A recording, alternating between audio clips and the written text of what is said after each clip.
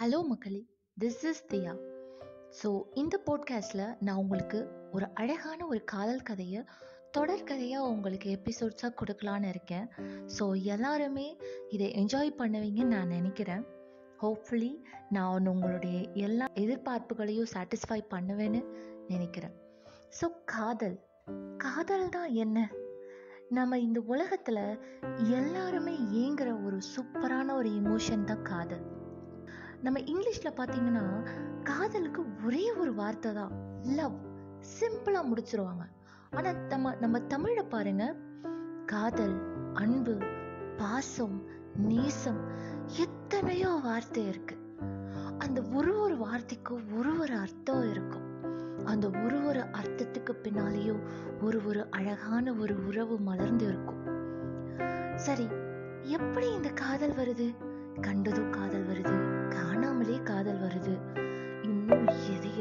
ஒரு வித்தியாசமான முறையில காதல் வருது. காதல்னா என்னங்க? எல்லாமே காதல் தானே. ஒருத்தருக்கு ஒவ்வொரு விஷயத்துல காதல். சில பேருக்கு மரங்களை பார்த்தா காதல்.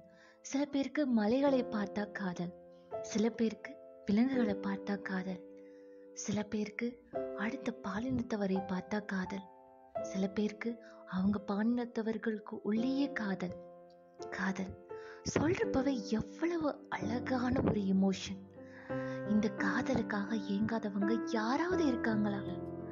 இந்த உலகத்துல ரொம்பவே ரூடான முரட்டுத்தனமான ஆளா இருந்தா கூட காதல் பிடிக்காதுன்னு சொல்ற அளவுக்கு யாருமே இருக்க முடியாது. சரி எடுத்துப்போம். நான் ரொம்ப ஸ்ட்ரிக்டானவங்க எனக்கு எதுவுமே பிடிக்காது. எனக்கு பொண்ணுங்களே பிடிக்காது. எனக்கு பசங்களே பிடிக்காது.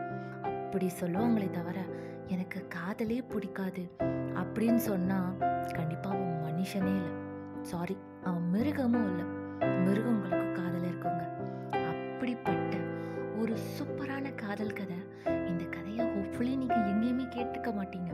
அந்த மாதிரி ஒரு காதல் கதையை உங்களுக்காக அழகா சூப்பராக முடிஞ்ச வரையும் உங்களுக்கு புரிஞ்ச மாதிரி நரேட் பண்ணலான்னு இருக்கேன். So thank you so much for listening my first podcast so அடுத்த பாட்காஸ்டில் இவ்வளோ மொக்க போடாமல் கதையை ஆரம்பிச்சிடுறேன். சரிங்களா?